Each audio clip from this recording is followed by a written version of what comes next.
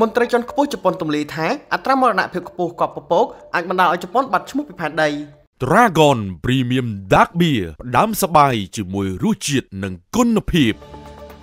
ប្រទេសជប៉ុនអាចនឹងរលាយបាត់ពីផែនដីបើសិនជាអត្រាមរណភាពនៅតែកើនឡើងខណៈអត្រាកំណើតមានការងើបឡើងយឺតនិងបង្កជាផលប៉ះពាល់ដល់សុខភាពសង្គមនិងសេដ្ឋកិច្ចនេះបើតាមសម្ដីទីប្រឹក្សានាយករដ្ឋមន្ត្រីអ្នកស្រី Masako Mori បានអះអាង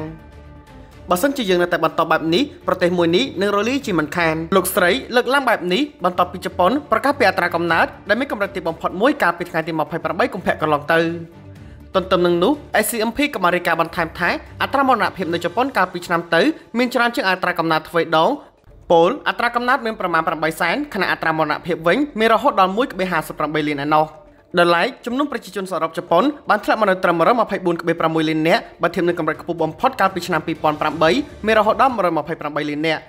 លោកស្រីម៉ូរីបានសង្កត់ធ្ងន់ទៀតថាបើសិនជាមិនមានដំណោះស្រាយជំវិញបញ្ហានេះទេប្រព័ន្ធសុខភាពសង្គមនឹងដួលរលំកំណើនវិស័យឧស្សាហកម្មនិងសេដ្ឋកិច្ចក៏នឹងធ្លាក់ចុះហើយក៏នឹងមិនមានកម្លាំងពលកម្មគ្រប់គ្រាន់សម្រាប់កងកម្លាំងស្វ័យការពារប្រទេសជាតិដែរ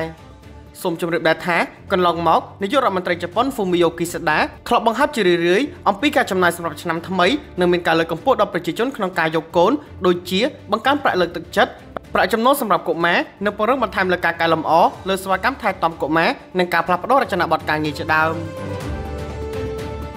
Dragon Premium Dark Beer ផ្ដាំសបាយជាមួយរសជាតិនិងគុណភាព